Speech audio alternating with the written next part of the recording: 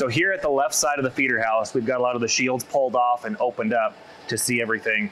Now, your machine may look a little bit different than what we have here. There's several different options, whether it's the feeder house drive, uh, some of the drum adjustments, but at least for this variable speed drive, Jeremiah, you want to talk to us a little bit about this?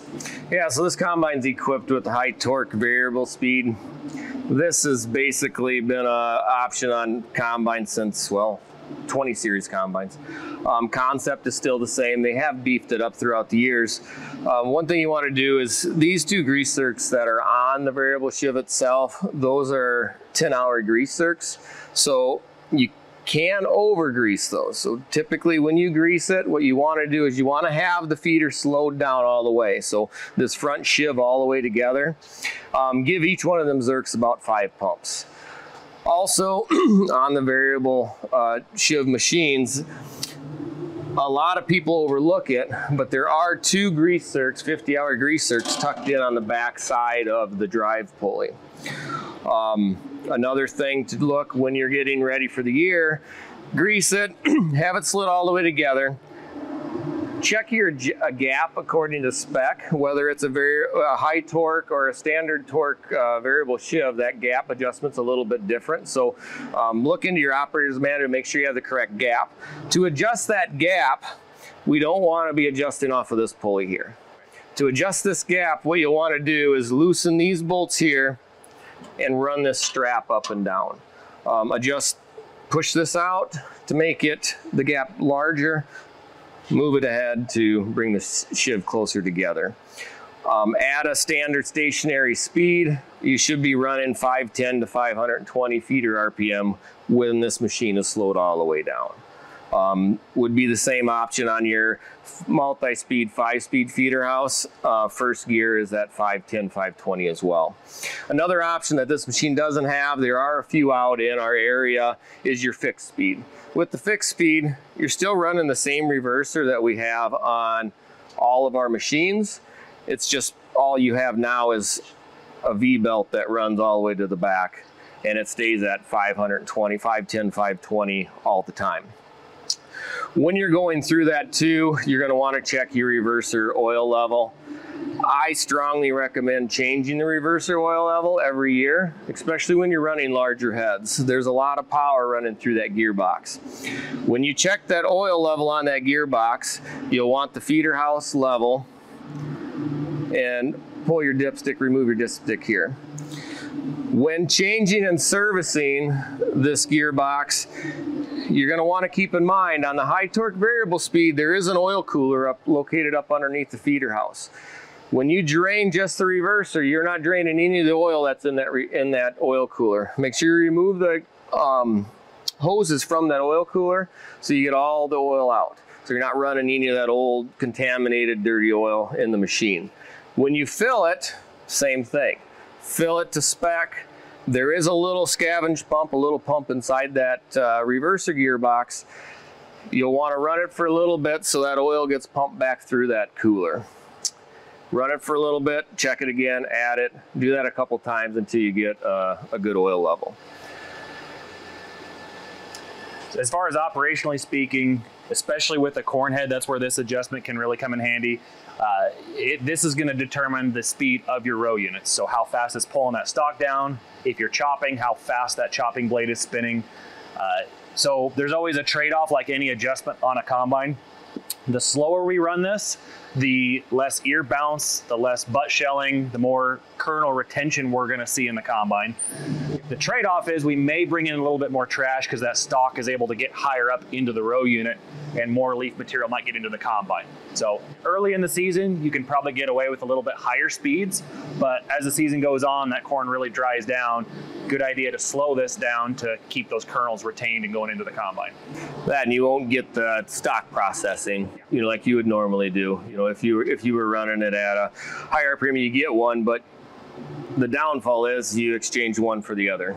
Do you want good stalk processing or do you want your head, header loss? So it's one or the other. So depending on time of year, Yeah, and go it's just a visual thing Yep. a lot of times. What does it look like on the ground?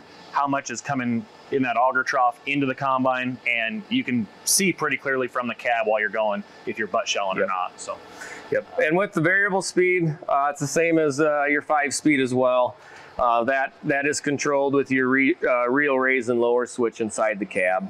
Um, with your five speed multi touch, we'll touch on that here in a little bit as well. Is you just have basically a five speed power shift transmission under the cab, where here you'll move it and adjust it.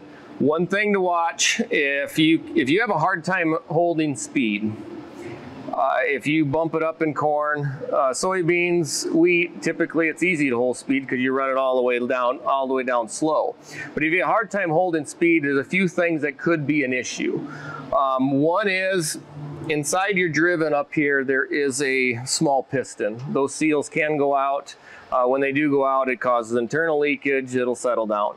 The other is um, basically 60 series or newer combines, or even if you have a 50 series that's had a retrofit kit on it, um, there is a little check valve inside your single point connector. That check valve can fail, causing it not to hold speed as well, um, which can be kind of a pain uh, when you're going through harvesting. Uh, you can be processing the stalks really good.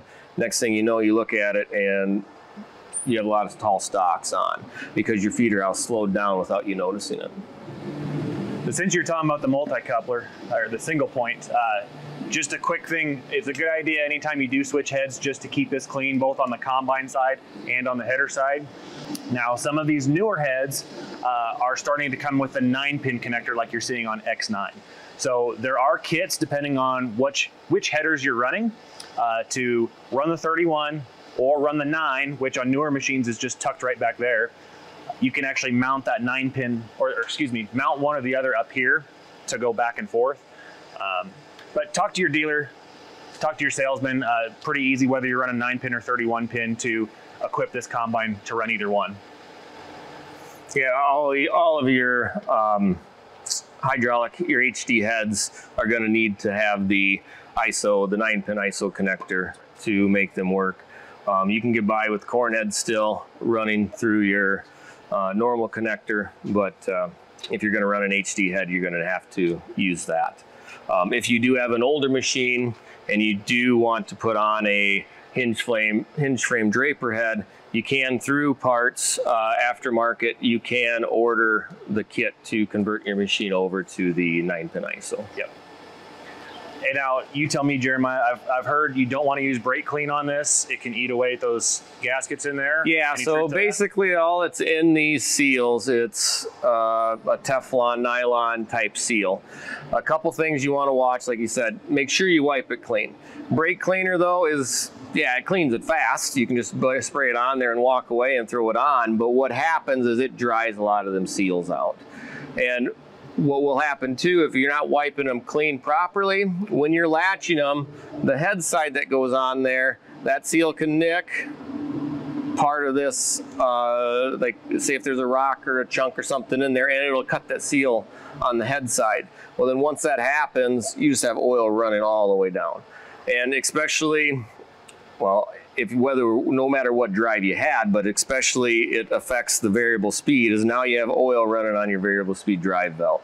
So you're not going to be able to hold speed correctly your belt's going to slip you're going to damage your belt you're going to damage your sheave. Another tip, uh, if you're going by the operator's manual, they do say to actually shut the machine down whenever you're hooking or unhooking the single point, uh, mostly for the electronic side. So there's no surges in voltages, anything like that, just to protect your electrical system. I know people get in a hurry with harvest and switching heads and needing to get everything done, but just a good idea for the longevity of your machine. Just shut the machine down real quick when you're hooking or unhooking this part to ensure that that stays everything works for a long time.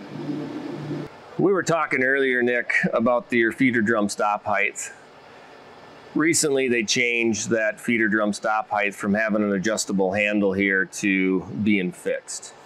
Uh, a few reasons for that was a lot of people leave it in top anyway. Um, also, too, it's to kind of help increase the lifespan of your feeder floor, uh, feeder chain components, things like that. If you have a later machine with the fixed feeder feeder house drum heights, you can order the components to make it adjustable through parts if need be. Yeah. So typically, you know, if you've got an older machine that does have that adjustment, uh, the rule of thumb I've always used is: Are you cutting in rocky conditions or not when you're harvesting soybeans? If you're worried about rock ingestion, having that drum down by the operator's manual, they do recommend that, and mostly for that rock protection. It'll stop that rock uh, here at the drum, make it more likely that the slip clutch goes off there rather than ingesting the rock further into the machine a lot of our guys in our area don't worry about the rocks so much or don't have rocks on their ground, so they just run it up, up all season long and get along just fine. If you also think about that in terms of capacity, having a larger opening to take a higher volume of crop flow, that's going to help with that. Uh, if for whatever reason you're in really, really low yielding light crops and you do have that adjustment, it might help a little bit to put that down, but for 95% of customers in our area, run it up, leave it up, and you'll be just fine. Yep. Um, with being on feeder drum, then too, another thing to check and make sure you have adjusted properly is your feet, your feeder chain tension. Um, we now we've had it since the S series came out, but you now have a nice spring that you can use with a gauge. Make sure that when you're tightening the gauge up, the end of the washer is flush with the end of the gauge. Another thing to look at, and I've seen this happen before, where a customer will call because their feeder house is noisy or it's jumping sprockets. It's getting out of time. It's changing. Uh, they look at their tension. The tension adjusted where it needs to be. However, if you look in at the feeder house adju adjustment here, there is only a slotted, a small area for adjustment. So if that chain stretches enough and, you, and it's to the point where you need to be removing a link, it might look like it's tight out here, but actually physically it's not.